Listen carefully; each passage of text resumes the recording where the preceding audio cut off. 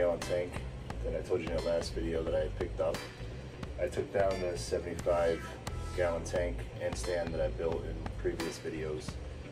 Um, my daughter had bought me a gift certificate for Capital Land Coral and I went up to buy a piece of coral for the saltwater tank and the owner there had a couple tanks for sale, this being one of them.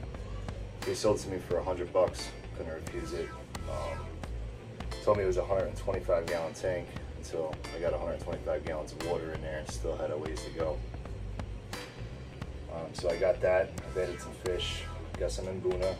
I did get the um, dolphin that I've been wanting and there's still a few more on the list that I want to get and we're still shopping for those. Um, I added some plants up top with a grow light, which that's, I'm gonna show you how I did that in this video here. That's what this video is being made for. But um, yeah, at the end of the video, I'm gonna throw in some pictures of fish that I do have in there. And I know the names to most of them, well, some of them, but maybe you guys can help me with the rest. But uh, here we go. Let me show you how I did the planting.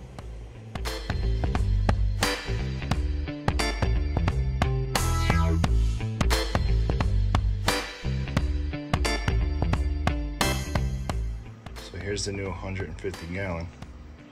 It's been doing great. We added a bunch of fish. Got some mbuna in there, haps, peacocks, a little bit of everything. But with all these fish, nitrates start to get high. So I have a little plan. Take these little planters here, take all the soil out, put some filter floss in the bottom of it, wrapped around the roots with some pea stone on top. Cut them down into the crating and have the bottom sit in the water to help with nitrates. Not sure this is gonna work, but I figured I'd give it a shot.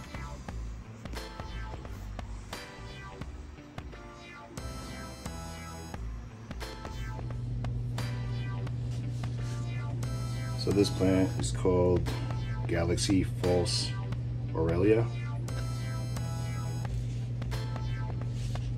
Not sure if it's great for growing in water. Well, water obviously, but fish tanks. But um, we're gonna knock all the soil off, put some polyfill around it, put some pea stone on top, and then we'll cut it into the grading and put it into the tank.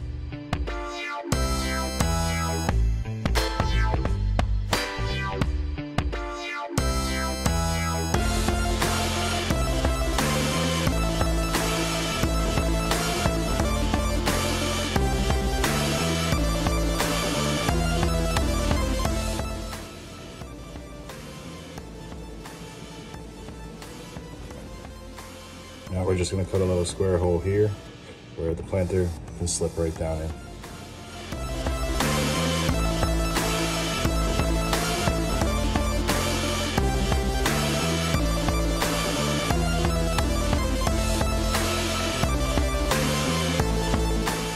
So the hole was cut. It's a three by three square. Like this, slip it down in just until the bottom touches down in the water.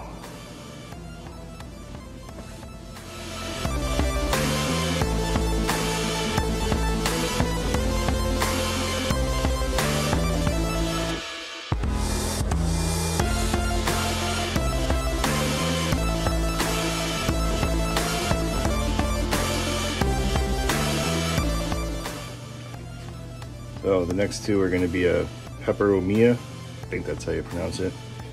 Nice little plant. Thought this thing here was beautiful. A lot of detail. And this is a Su Superba Pitonia. I don't know if I'm pronouncing these right, but that's what they look like anyway. Get these ones cleaned up, get them in the tank.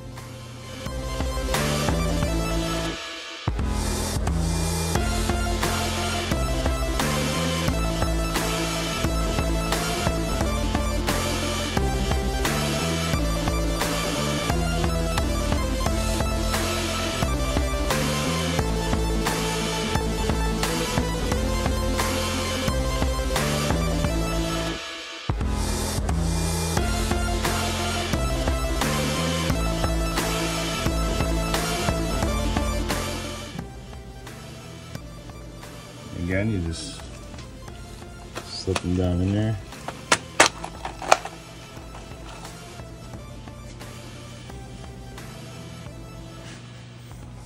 Until the bottoms touch. See it back there, the light's kind of blinding you.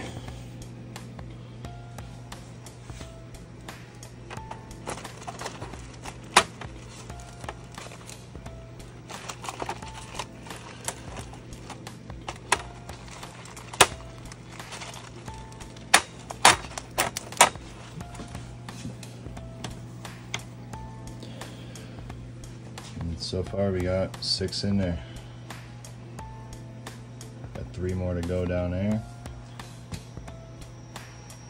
I'll do those ones off camera and then get back with you guys and show you how everything's coming together here.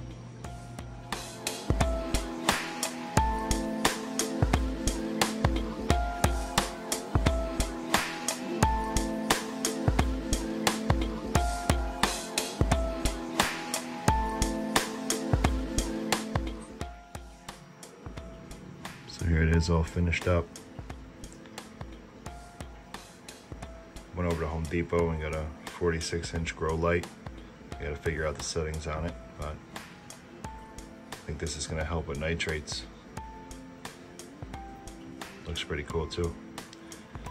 I'm gonna take some nitrate tests over the next few days and see if they're going up, down, or what they're doing.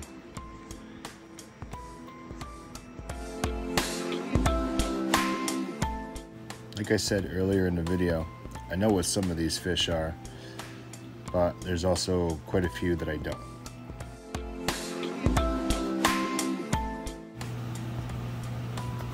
There's a total of 20 cichlids altogether. I put a number by each one of them. Maybe in the comments you guys can just add in what you think they are or know they are, and maybe a little bit of advice about each one.